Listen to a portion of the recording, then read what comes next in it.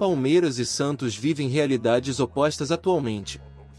Enquanto Verdão empilha taças e tem um elenco muito numeroso, o Peixão não conquista um troféu há algum tempo e isso tem incomodado seus torcedores, ainda mais após perder a final para o próprio Palmeiras, na Libertadores de 2020, que aconteceu no Maracanã. Para 2023, o Alviverde irá continuar na briga por mais títulos e o Santos ainda é uma incógnita. As duas diretorias têm uma boa relação e podem fazer um novo acordo para a próxima temporada. Tudo vai depender do sim de Leila Pereira, presidente que foi eleita recentemente no Verdão e tem a caneta na mão para tomar qualquer tipo de decisão. O lateral esquerdo Jorge realmente está de malas prontas para deixar o Palmeiras.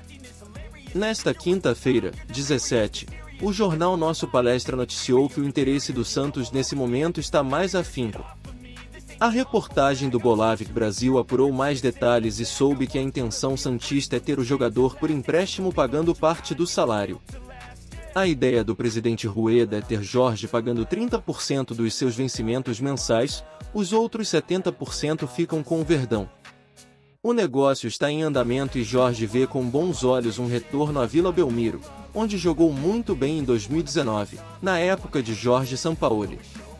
Jorge está de saída do Palmeiras, já é certo que não fica.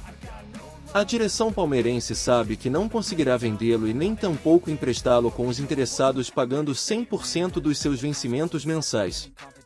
A proposta do Santos está na mesa e deverá ser respondida muito em breve.